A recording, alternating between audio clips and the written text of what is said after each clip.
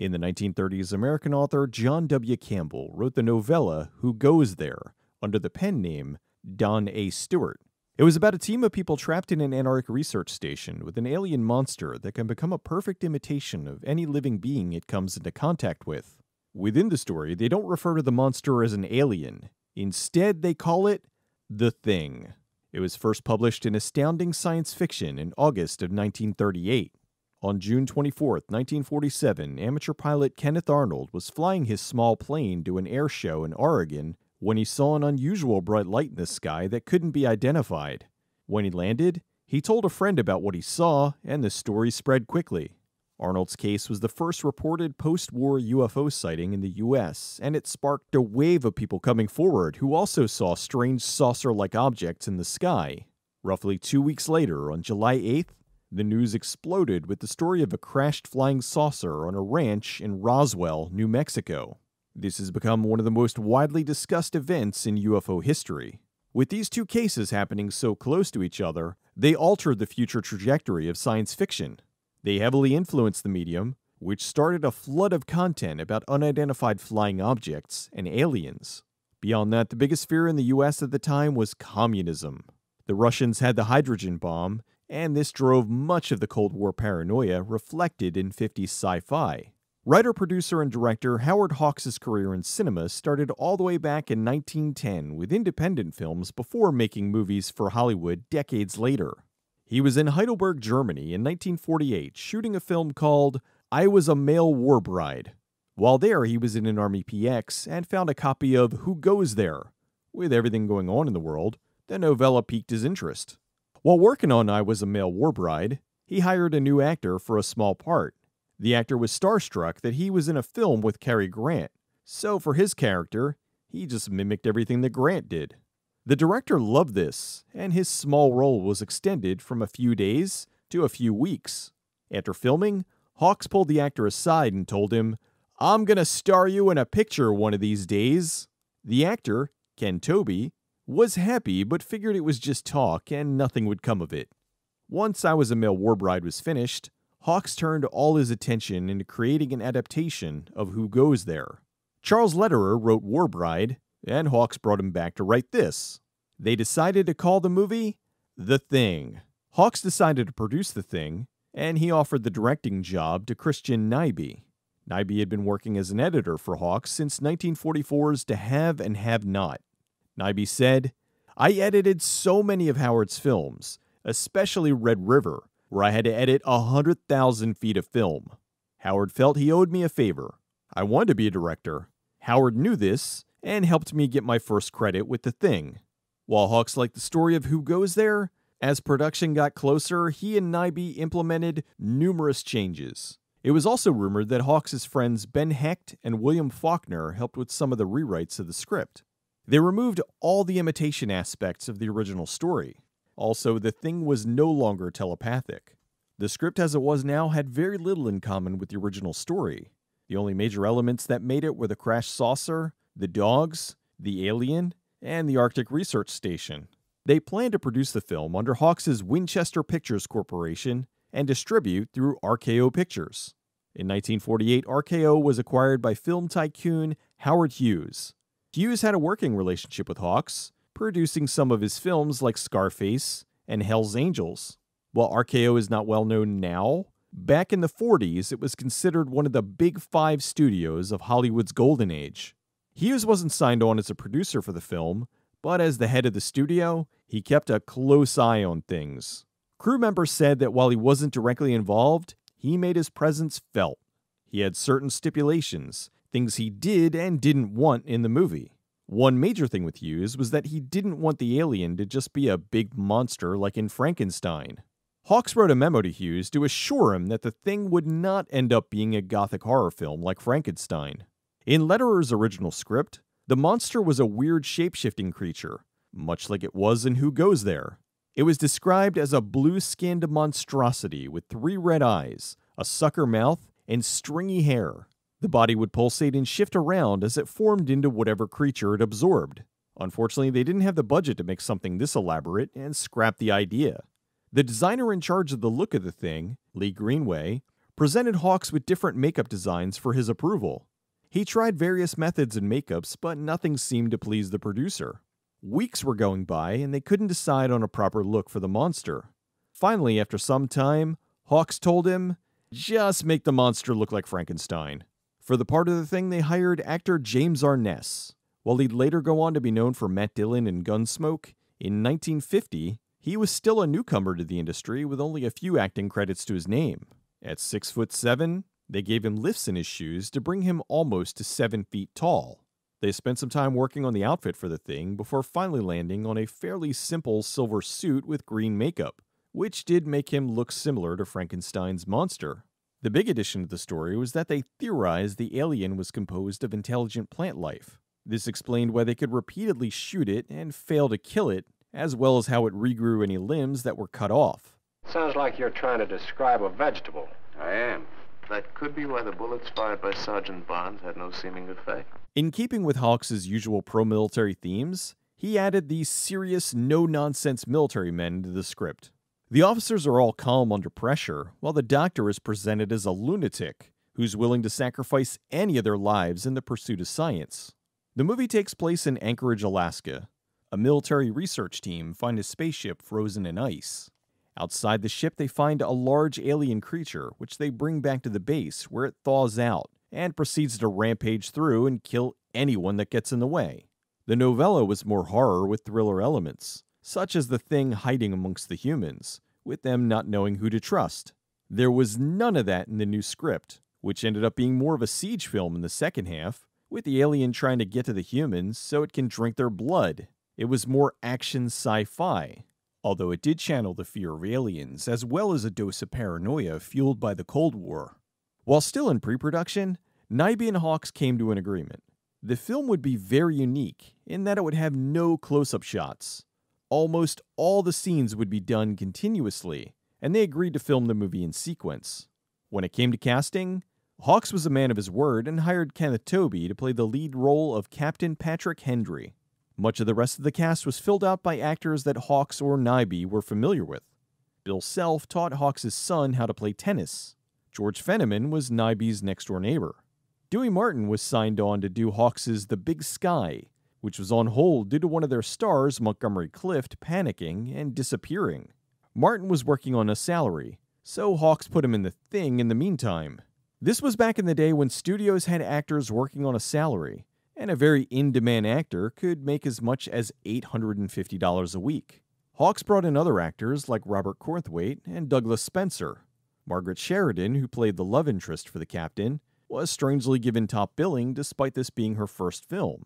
She was a fashion model that attracted the attention of Hawks, who signed her to a five picture deal with his studio. They were looking into locations for the film and settled on a few different places. They planned to shoot in North Dakota, as well as Montana and areas in California. Since they couldn't very well film in Alaska, they built sets inside of an ice house at Glacier National Park in Los Angeles, so you'd be able to see the actor's breath. For some exterior shots, they needed a place with lots of snow. They looked up weather reports that said that Cutbank, Montana, got an average of 20 feet of snow per year. They all agreed this would be the best place to build their Arctic base.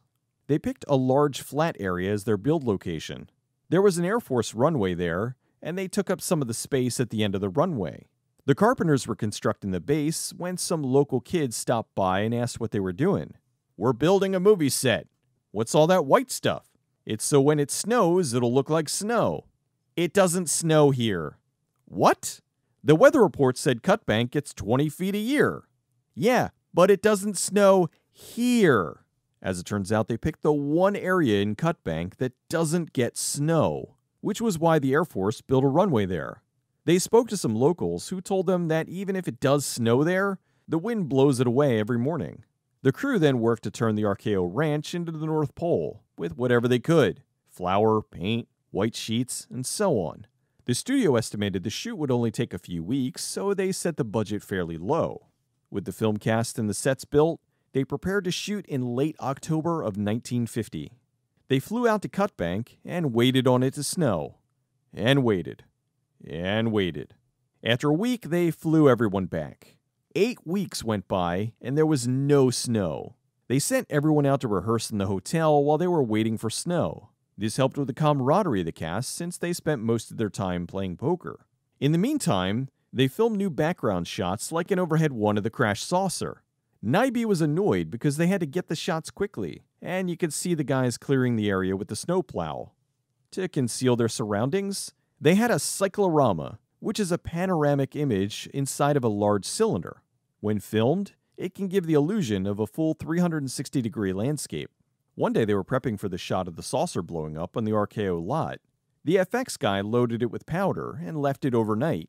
The next morning it was damp, and he figured the powder was wet and unusable, so he packed it with more. When they set up the shot, the explosion went off and was much larger than anyone was anticipating. The RKO lot was in the middle of San Fernando Valley. The explosion went off at 11 p.m., and everyone in the surrounding area panicked. The smoke cloud from the explosion looked like a mushroom cloud. Dick Kinnan, the script clerk, said that everyone was on full alert and thought, This is it! The Cold War had everyone on edge, thinking we could be nuked into oblivion at any given moment. The explosion was so big, the camera jolted, and you could see the California skyline behind the cyclorama. They couldn't afford to shoot it again, so they had to leave the mistake in the film.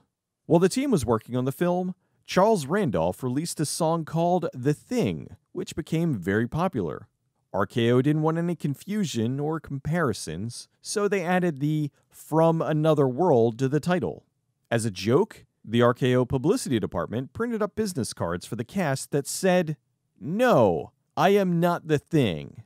Everyone got one, except James Arness. Since they were shooting on the RKO lot, they had to make some script changes to accommodate the alterations of the shooting schedule. The thing's demise was not as effective as they had envisioned. The optical chief, Lynn Dunn, took the footage and drew the lightning bolts that shot out and fried the monster. As the thing's melting, they switched out James Arness to a little person in a scaled down version of the costume. Eventually, between the RKO Ranch and Cutbank, they were able to get the shots they needed. Initially, the shoot was supposed to be short. With all the problems they had, they didn't stop filming until March 3rd, 1951. The Thing from Another World was released on April 27th, 1951, and was a very big hit. It grossed almost $2 million and was the 46th biggest grossing film of the year, beating other future sci fi classics like The Day the Earth Stood Still and When Worlds Collide. The movie went on to be a huge influence in other sci fi films. They had what's considered the first time a movie had a beeping Geiger counter, which became a staple of science fiction in following years.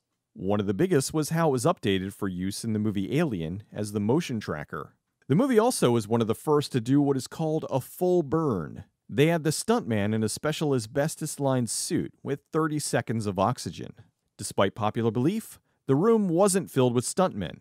They used the real actors for the scene, except the stuntman in the thing suit and the guy who throws the kerosene, who was the other stuntman. Hawks and Nyby didn't want to show too much of the thing. When you do see him, he's always partially obscured, either by smoke or shadows, or both.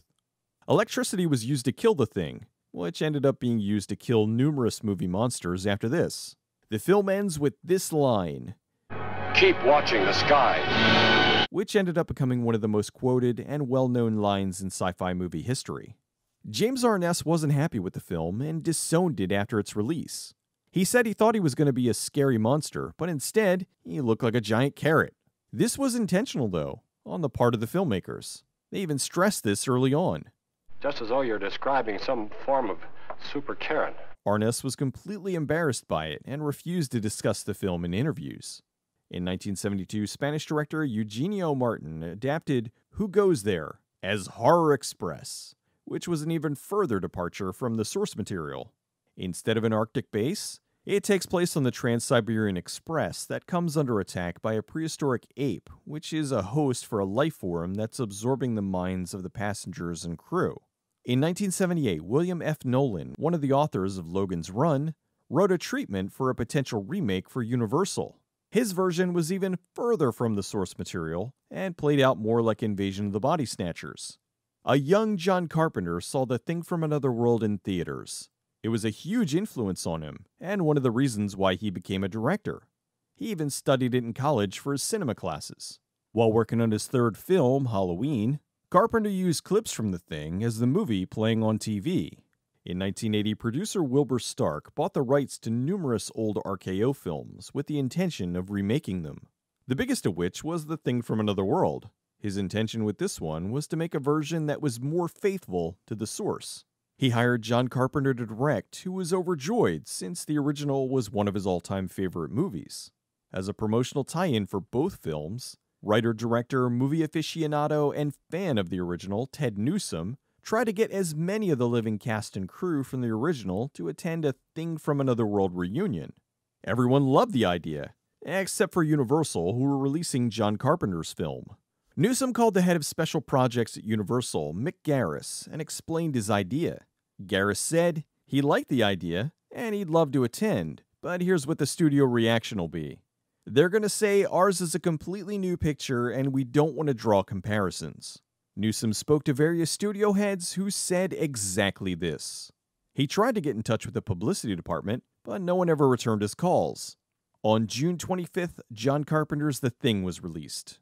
Wanting to try one last time, Newsom calls Universal and suggests the reunion could work as a second wave of publicity for the new movie. The staffer says, That might be pretty good, but the movie hasn't opened too well. They might not want to do anything more. I'll bring it up in a meeting today. Newsom never heard back from them. After countless calls and numerous headaches, the reunion took place on June 5th, 1982. They gathered as many from the original as they could, including George Fenneman, who played Redding, Robert Cornthwaite, the evil Dr. Carrington, Kenneth Tobey, the hero, Captain Pat Hendry, Christian Nyby, the director, and William Self, who played Corporal Barnes. He was now the new president of CBS's theatrical film division. Sadly, Margaret Sheridan, who played Nikki, died of lung cancer on May 1st, just a few months before the reunion. As a way to honor her, they invited her husband, Paul Wildman, and their two daughters, Eileen and Julia. They had a special cake made. Originally, they wanted a carrot cake, but decided on chocolate. On the cake, it says, 31 years, the mind boggles. The Thing, happy anniversary. They also had the prop arm of The Thing on loan. They screened the original, and the audience loved it. Afterwards, they had a Q&A. They answered all sorts of questions about the production for the happy crowd of several hundred people. Bill Self said, as a producer, his only regret was that he didn't think of remaking the thing before someone else did.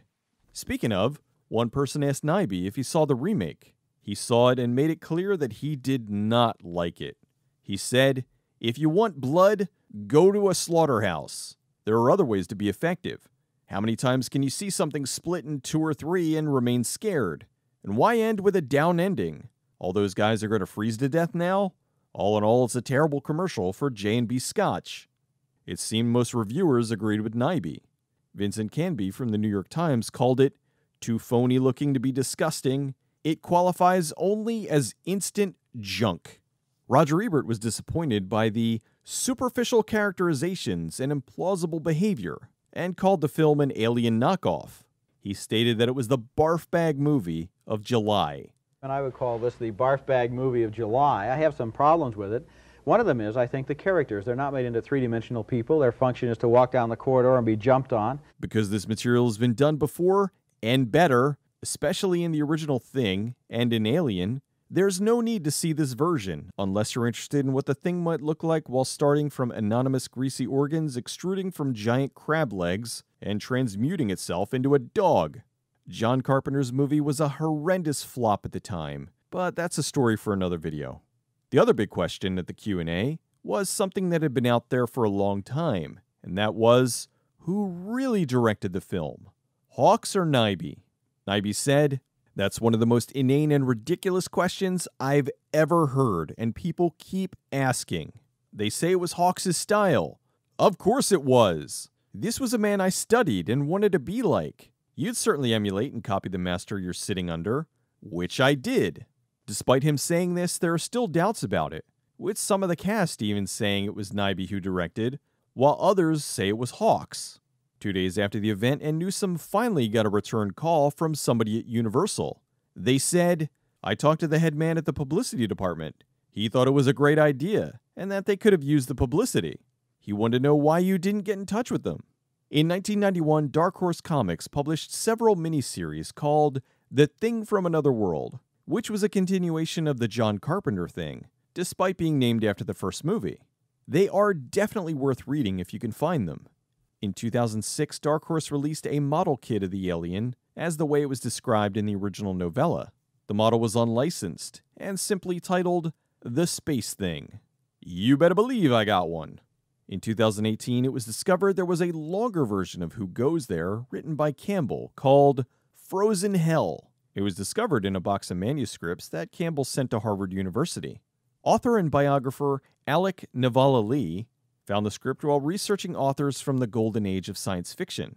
After the success Blumhouse has had with the late sequels for the Halloween films, they purchased the rights to Frozen Hell and planned on remaking John Carpenter's version of The Thing while incorporating material from Frozen Hell with input from the director. Who Goes There has been reprinted numerous times since 1938, and in 1973, it was voted by the American Science Fiction Writers of America as one of the stories representing the most influential, important, and memorable science fiction that has ever been written. Along with that, The Thing from Another World is considered one of the most important sci fi films ever made. While they made drastic changes from the source material, which usually leads to disaster, it didn't in this case. It was a far cry from the source, but they made so many wise decisions about how to do the film, it succeeded in honoring the source while still being something different. The Thing from Another World is great sci fi. There are some technical problems, and yes, I do prefer John Carpenter's The Thing. That's one of my all time favorite movies. However, this is a fantastic film that overcame its problems, and it's amazing when you consider that they managed to scare the hell out of audiences in the 50s with a giant sentient carrot.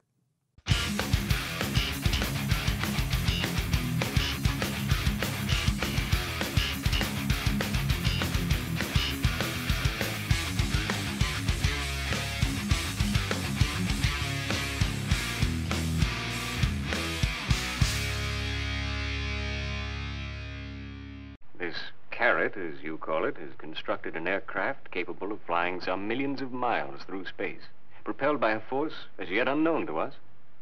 An intellectual carrot. The mind boggles. Shouldn't.